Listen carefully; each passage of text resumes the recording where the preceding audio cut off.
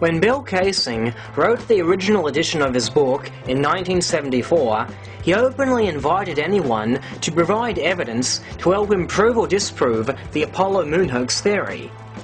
Some eight years later, an engineer by the name of William Bryan released his book, Moongate Suppressed Findings of the US Space Program. Although Bryan did not dispute that men have been to the moon, he pointed out that during the Apollo 14 flag ceremony, the flag waved, despite the fact that there is no air on the moon.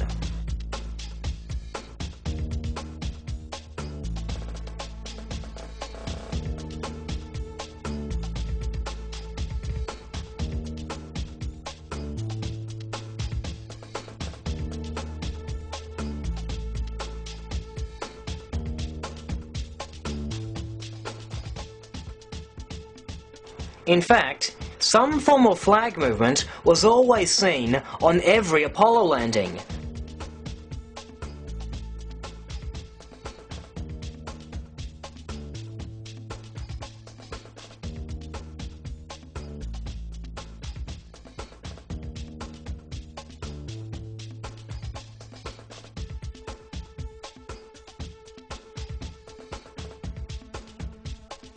Despite various flag movements that are impossible to recreate with human motion, the propagandists all argue that the flag never moved unless the astronauts were holding it. Every time you see that flag waving, the astronauts holding onto the pole and they're moving this thing back and forth. That's why the flag is moving. It's just the cloth flapping back and forth because of inertia. However, this was not the case. In 2007, YouTube user Green Magoos purchased the Apollo 15 DVD set from Spacecraft Films and analysed the videos taken during the second EVA. What he found showed that the American flag on Apollo 15 waved when astronaut David Scott ran past it. Oh, you look colorful. That's it. Even with the beard, huh? Okay. You like that flag there, Joe? It's beautiful. Yeah, we think it's pretty nice too.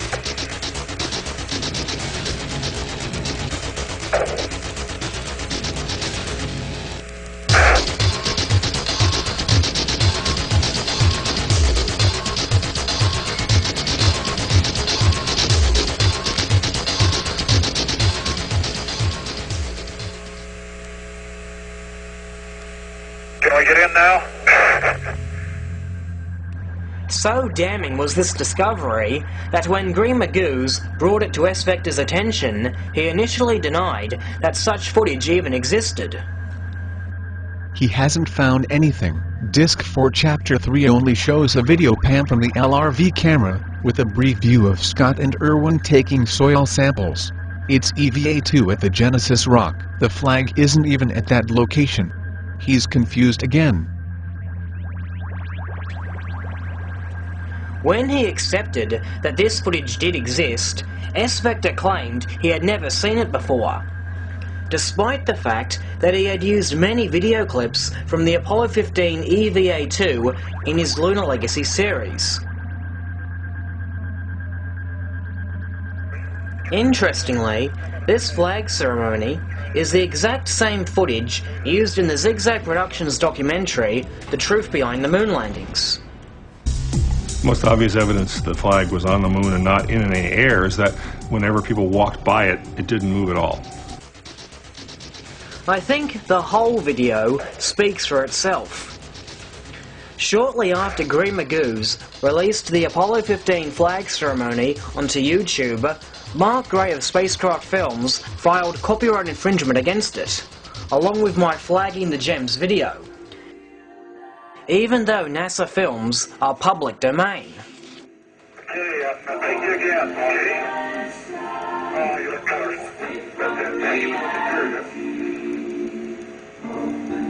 Okay, uh. That flag there, Joe? Beautiful.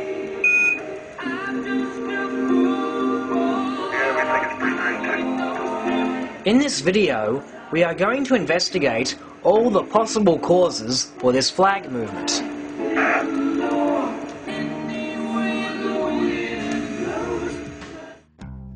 Reading through the Apollo Lunar Surface Journal on NASA's website, we find that the Apollo 15 flag movement is discussed.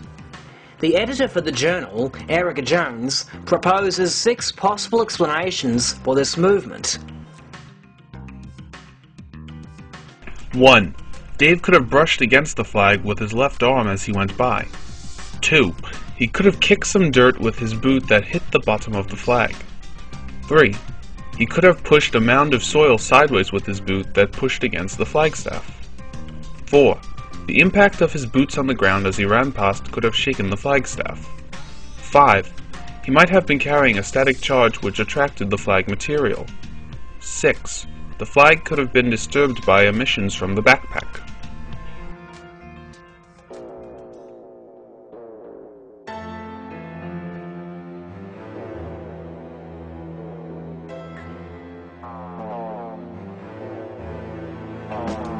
Interestingly, explanation 5 is the very response S. Vector gave when he admitted that this video footage existed.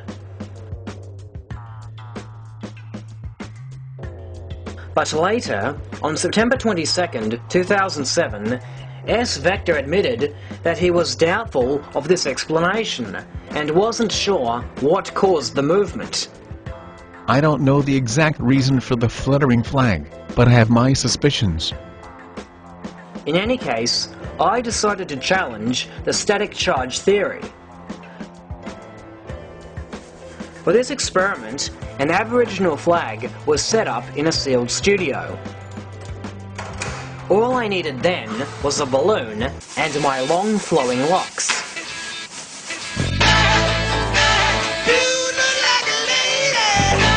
We all know that when one rubs an inflated balloon against hair, it generates static electricity. Watch now as I hold the statically charged balloon close to the flag. Do you see it move?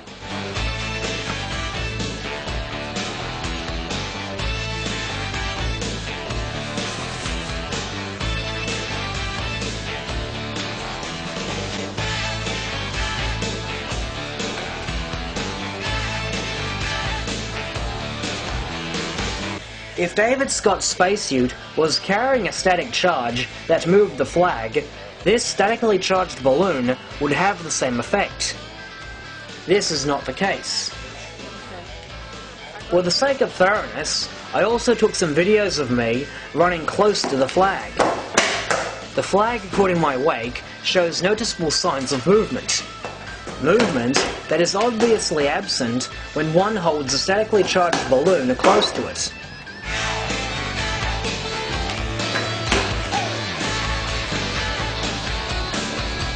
Also, when one zooms in on the flag and slows down the video, we can clearly see the corner initially move away from David Scott.